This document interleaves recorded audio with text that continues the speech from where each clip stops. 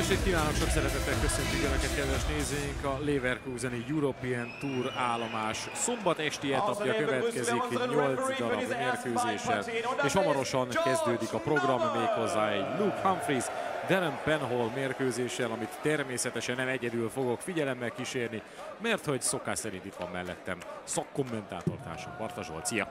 Szervusz Viktor, sok szeretettel köszöntöm a kedves nézőket, és mindenkinek nagyon jó szurkolást kívánok. Hát alapvetően nyilván azt gondolná az ember, hogy ez egy nagyon sima Luke Humphries győzelemnek néz ki, mert hogy a kettővel ezelőtti European Tour fordulót ugye megnyerte Humphries, oké, okay, a legutóbbi meg rögtön az első fordulóban bukott, de hát Penhall az azért nem az a játékos, akit itt nagyon megszoktunk a színpadon játszani szombat esténként, de most itt van ez, és tegnap egy százas átlaggal tudott győzni, úgyhogy uh, nyugtass meg, hogy nem lesz ez egy egyoldalú mérkőzés. Hát én azért nagyon bízom benne, bár hogyha abból a meccsből indulnék ki, amit eddig pályafutások során egyszer lejátszottak egymás ellen, 2020. november 10-én a Players Championship-en. 128 között Humphries 6-1-re nyert, tehát eléggé egyoldalú volt a találkozó. És hát megmondom őszintén, hogy a délután is ugye erről szólt, hogy hogy volt egy Kristóf Ratajski Josh Rock, ahol borult a papírforma és a lengyel kiesett az ifjú északírel szemben. Majd jött egy José de Souza, Denis Nilsson, ami végletekig elment 6-5-re, de végül aztán de Souza érvényesítette a papírformát.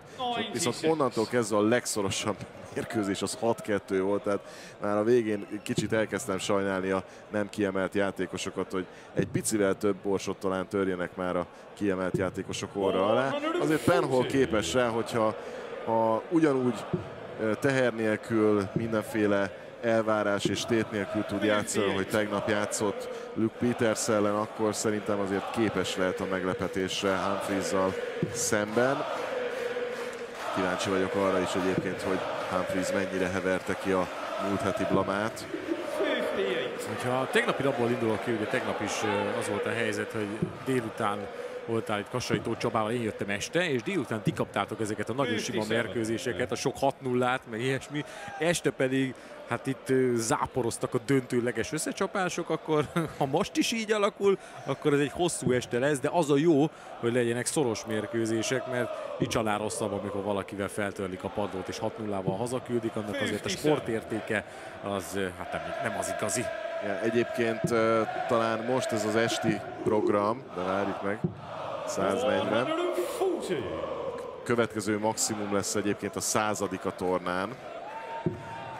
Tehát most ez az esti mér, mérkőzés sorozat az talán a leginkább egyoldalúnak vélt. Gyakorlatilag nem éri meg a kiemelt játékosokra fogadni, miközben 150-re nincsen meg a dupla 18 Humphriesnak, mert annyira alacsonyak a szorzók egyszerűen a Humphriesnál jelen pillanatban 1,17, míg Penholnak 4 fél, de az Espinal, Sedlacek, Price, Woodhouse, Van Gerven, Gurney, Wright, uh, Williams, Clayton, Rodriguez, Cross, Schindler, Heta Csisznál egyszerűen teljesen, teljesen egyoldalúnak tartják a, a ma esti mérkőzéseket a szakértők, legalábbis akik összeállítják a sportfogadási otcokat nem szeretnék velük azért teljes mértékben egyetérteni. Én, én szeretnék itt azért izgalmas mérkőzéseket látni.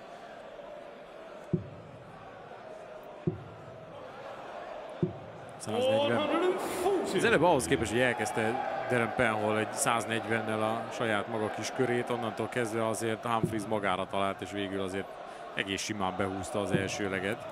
Igen, a jelen pillanatban még egy ilyen faramuci helyzet van, nem is magasabb a körátlag a Humphriesnak, mint az első 9 nyilas átlaga. A mérkőzés a legmásodik felét tolta meg az előbb. És közben megy a felelgetős szurkolás a nézőtéren. Délután is fantasztikus volt a hangulat nagyon oda tette magát a Leverkuseni közönség. És azóta még boldogabbak lehetnek, azért eh, ennyi sportágak közötti átfedés hagy legyen, hogy a Leverkusen labdarúgó csapatom nyert ma 4-2-re Offenheim ellen, és ez azt jelenti, hogy most a fixen a harmadik helyen fogják zárni a bajnokságot, úgyhogy mehetnek a bajnokok ligájába, ez volt a nagy álom, nagy cél erre a szezonra, és sikerült teljesíteni, és szerintem sok boldog embert fogunk itt látni a ma este folyamán.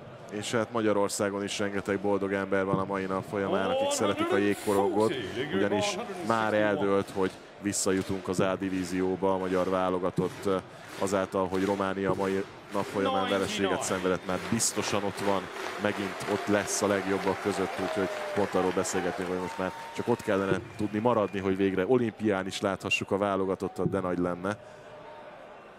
Ennyit megérdemelt a magyar így, én így gondolom én is, hogy ezért ennyi, ennyi belefér, de innentől kezdve foglalkozunk csak a dárccal, mégpedig humphreys akinek egy nyila van a dupla 16-ra, de nem oldja meg. Túl nagy bajban azért nincsen, ebben a penholban eddig nem nagyon van benne a 136-os kiszálló, aztán ki tudja, lehet, hogy ez indítja majd meg a játékát. Soha nem mond, hogy soha. Hát most nem lesz meg.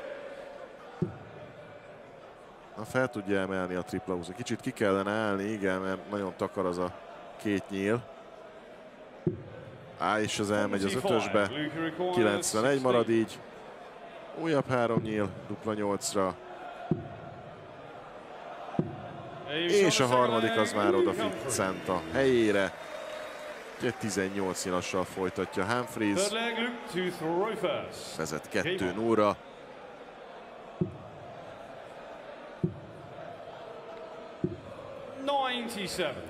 97 ugye már kezd körvonalazódni a holnapi program. Ennek a mérkőzésnek a győztese Brandon Dolennel fog játszani az lesz a holnapi program, délutáni program második párharca. A European Touroknak sajátossága, hogy pénteken és szombaton még a szervezők belátása szerint alakítják a mérkőzések sorrendjét, viszont a vasárnapi napon már szigorúan az ágrajz szerint haladnak. 85.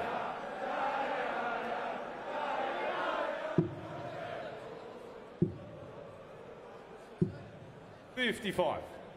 Okay, volt egy nagyobb kihagyás a Penholnak, hogy 2020 november és 2022 áprilisa között nem vett részt Players Championship fordulóban.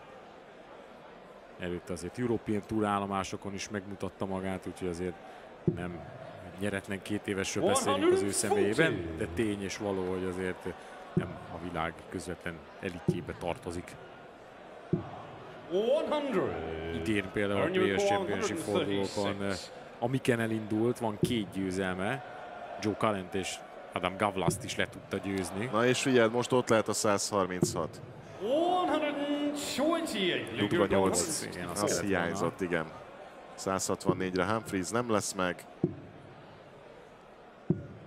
92 a kör, marad a 72 dupla négyre Penhall szépíthet és visszaveti az elveszített kezdést.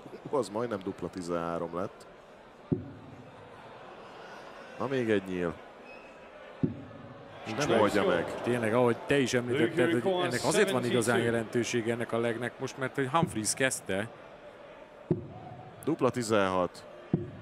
Nem oldja meg.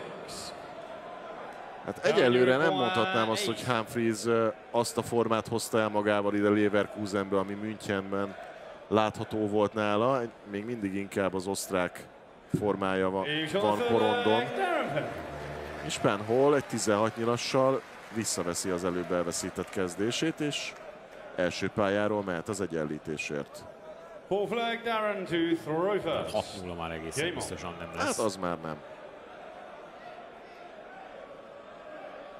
Tényleg nagyon jól sikerült a Müncheni, Müncheni fordulóban. Decvant, Michael Smith, Baziert, Van Gervent és Lukment is legyőzte. Az elődöntőben 7-0-val gázolt el Michael Van Gervenen, Luke Humphries ihletett formában játszott, és erre jött aztán a Gráci elsőkörös búcsó 6-2-re kapott ki Daniel Szentel. Igen, de hasonló volt a szituáció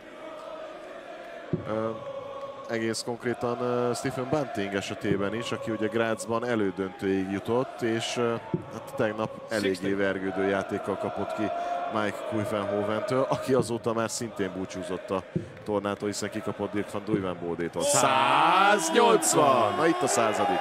Igen, azért tegnap este nem kényeztettek el minket de jó játékokkal.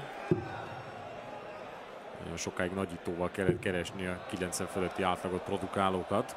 És egyből jön a 101 180! Egyből jön a 101 Penhol így kiszállon. Így Humphries is 126 azért egy picit könnyebb, mint a 161. Nem is lesz meg a 161 Penholnak.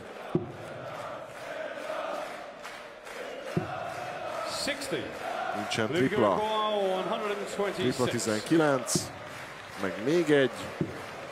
Jó, és akkor a Bull 101 a kör. 101.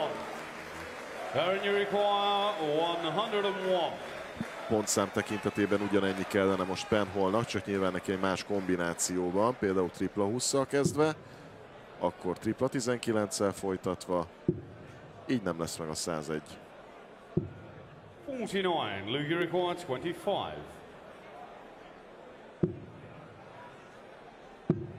Még egy nyír a dupla nyolcra, az már jó. Újabb break, 3-1 Humphriesnak. Visszaállítja a kétleges különbséget Humphries, megint elvette Penhol kezdését, eddig Penhol egyik kezdését sem tudta megnyerni a találkozón. Ahhoz képest, hogy tegnap 6 0 nyert, 134. ez egyelőre eléggé halovány teljesítmény Penholtól. Tegnapi százas körátlaga az jelenleg 82. Pont ezt akartam én is mondani, hogy azért óriási visszaesés ez a tegnapi teljesítménye után. 140. Hát nyilván minden mérkőzés más és más, minden nap más és más, és hát a játék is 140. mennyire engednek játszani, mennyire tesz rám terhet az ellenfelem egy-egy nagy körrel, meg mennyire tudok alkalmazkodni ahhoz a tényhez, hogy most éppen egy European Tour 100. győztessel, korábbi UK Open döntőssel játszok, aki egyébként a verseny 8. kiemeltje. Tehát azért nem ugyanaz. 57. Tehát Meg az, hogy hányan vannak, mert azért tegnap a délutáni etapban játszott, most csak a szombatesti főműsoridőben van, hogyha fogalmazhatunk így, tehát itt jócskán többen vannak, és nincs ehhez hozzászokva. 180! De hogy nézem, kezd akklimatizálódni azért úgy szépen lassan Penhol. Bár azért még messze van a 96. Baron vízből kikerüléstől. Igen, menni kell a 12-es útra, nincs mese, kiszállón az ellenfél. Tripla 12 vagy szimpla 12, szimpla úgyhogy bulla végére. 51. szép, kövér, kis szektor 74. 20-as lett. Dupla Jó. 10. Dupla 5. Az már jó. Gyönyörű megoldás. 4-1, most nem rontotta el a saját kezdését Humphries, így viszont ez most már szemben láthatóan komoly first. Game on. Igen, nem pepecselt annyit a kiszállóval, de hát még így is 33%-os a dupla mutatója Humphriesnak, ami nyilván körön belüli megoldást jelent. Tehát azt jelenti, hogy ha 100. leér egy dupla szektorra és van három nyíl a kezében, akkor a harmadikkal legkésőbb megoldja. De azért 100. ennél erőteljesebb duplázáshoz szoktunk.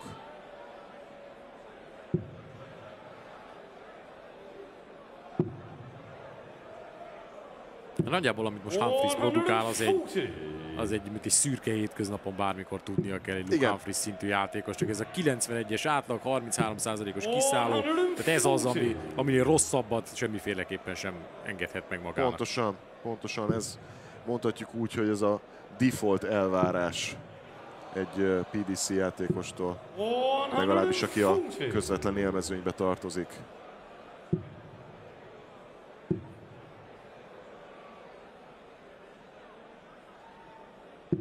Nagyon szép a váltás, 131-jel, Humphries is lent van, egy triplás kiszállón, Penholnak megvan a tripla 20-11. Ó, Uha. ez, ez merész vállalás rámenni ilyen helyzetben a burra.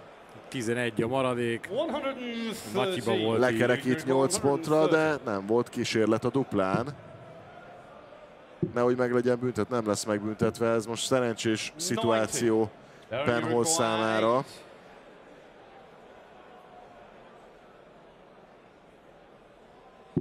Megoldja, megoldja a dupla négyet. négyet. 13 nyilas játék, ez azért nem volt csúnya. Könnyen ráfázhatott volna. 60. Mind a két kiszállója dupla négyen volt egyébként, eddig az jön be neki. Igen, szokatlan, hogy legmagasabb kiszálló az 8. Ugyanúgy 60. kezd tripla nélkül ő is. Hát 4-2-es hátrányban azért ezek azok a dolgok, amik nagyon nem jók az ő szempontjából, és erre aztán Humphries meg egy két triplás körrel válaszol, úgyhogy sajnálhatja, hogy az előbb neki sem jött tripla. Ezt meg aztán pláne sajnálja, hogy még szektorhibát is dob. Sőt, nem tud triplával korrigálni. Humphries pedig köszöni szépen. Már is lent van kiszállón. Nem volt még 170-es kiszálló a tornán. 156 a legnagyobb. Cameron Menzies kétszer is megdobta tegnap. Egyébként azt figyeltem meg, hogy nagyon kevés a 100 fölötti kiszálló eddig összesen. A délutáni mérkőzésekkel bezárólag 15 darabot dobtak a játékosok. Tehát az nem ehhez szoktunk. 130-as kerekítés 40-re, nagyon szép megoldás volt. És bőven van ideje Humphriesnak a dupla 20-ra is, hiszen Penhol még egy 180-nal sem tudott volna kiszállóra érkezni, úgyhogy 6 nyila biztosan van. 59, Luke 40. De ezúttal elég neki egy is. Humphries is dob egy 13 nyilast. Viszont a hány 100 pluszos kiszálló volt eddig? 15. 15, aha, és ugye 23 mérkőzés volt eddig. Hát ez könnyen kiszámolta, hogy, hogy nincsen meg a meccsenkénti Igen, az bőven nincsen, sem. de inkább közelebb vagyunk két meccsenként egy 100 pluszos kiszállóhoz. Így van. Ami azért, eh, hát nem az a szint, amihez hozzá vagyunk szokva, ez tény. És ugye tényleg tegyük azt hozzá, hogy Menzisnek ott volt az a két 156-os közte, tehát hogy ő egyedül egészen jól feliratkozott erre a listára.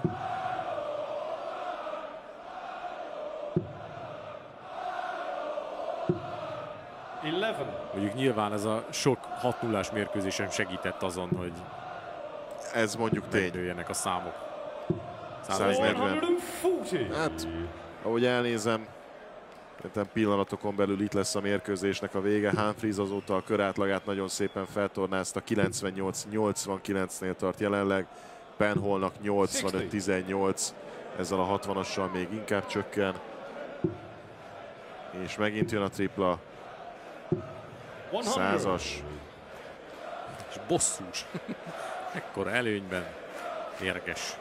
Ugye hátsó pályán van már bőven kiszállón. És most már Penhall is megérkezik ezzel a 140-nel. Az első tripla jó. Az is jó, itt az első meccsnyíl, meg is oldja a kapásból. Gyönyörű 127-es, ha már hiányoltuk a 120-os kiszállókat, Humphries oda tesz egyet, és egy 12 nyilassal zárja le a találkozót. Végül is összességében 99,63-as körátlaggal, és a kiszállózását is sikerült 43%-ra felhoznia. Úgyhogy ez összességében úgy gondolom egy teljesen jó produkció volt Humphries-tól, sikerült felettetnie a Gráci fiaskóját, ott van tehát a legjobb 16 között a verseny 8. kiemeltje, és várhatja a Brandon Dolan elleni találkozót. Mi pedig hamarosan Nathan Espinallal és Karel Szedlacsekkel folytatjuk.